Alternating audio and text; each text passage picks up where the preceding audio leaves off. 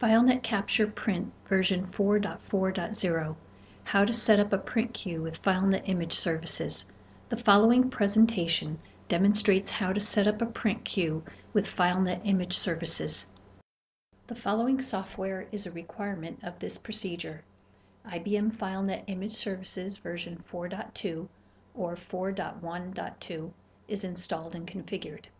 IBM FileNet Print version 4.4 is installed and configured. There must be a PostScript 2 or PostScript 3 compatible printer available. In the FileNet Image Services System Configuration Editor, select Add a Printer, press the Run button. Select a printer type from the list. Check with Printer Vendor Driver Files to see if a printer PostScript definition or PPD file is available. They are sometimes included with the manufacturer-provided CD or printer driver files. Press the Next button. In the Enter the Printer Name field, create a name for the print queue.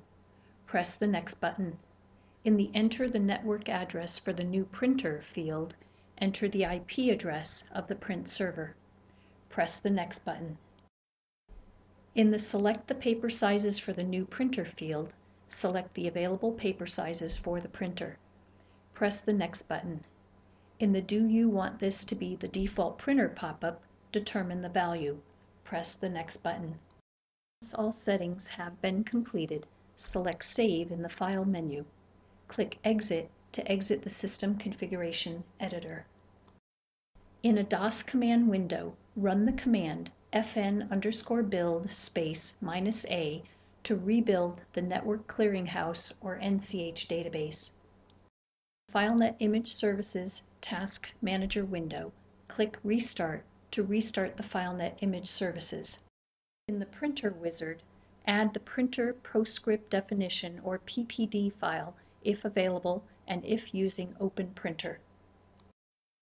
In the FileNet Print Configuration window, select the newly created queue under FileNet Queues to configure. Click the Configure button. In the generic PostScript printer configuration window, select the printer connectivity. Use Windows printer queues if a Windows print server is available. Otherwise, select TCP Direct Port and click Configure.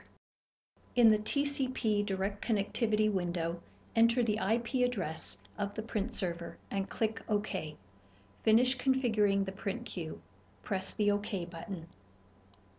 There are several valuable resources to access the correct software needed in this presentation.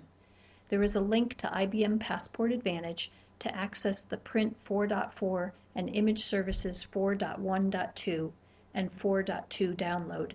The link is http colon slash slash www-01.ibm.com slash software slash passport advantage slash PAO underscore customer.html.